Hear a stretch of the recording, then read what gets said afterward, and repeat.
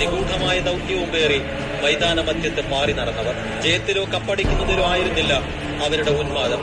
കളി കാണുന്നവന്റെ മനം നിറക്കലായിരുന്നു ജോഗോ ബോണിറ്റോ വെള്ളവരക്കകത്തെ പുൽത്തലപ്പുകളിലൂടെ ഗാലറിയുടെ മിടിപ്പ് അവന്റെ സിരകളിലേക്ക് ഇടിച്ചു കയറും. അകക്കണ്ണിൽ സഞ്ചരിക്കേണ്ട വഴികൾ തെളിഞ്ഞു വരും. ജോഗോ ബൊണീറ്റോ സുന്ദരമായ കവിതയാണ്. ആ കവിതയിൽ അടിമത്തത്തിന്റെ മുറിവുകളുണ്ട് അതിജീവനത്തിന്റെ വേദനയുണ്ട്. ആ പതിനൊന്ന് പേർ നർത്തകരായിരുന്നോ കളിക്കാരായിരുന്നോ എന്നിപ്പോഴും ബ്രസീലുകാർക്ക് നിശ്ചയമില്ല.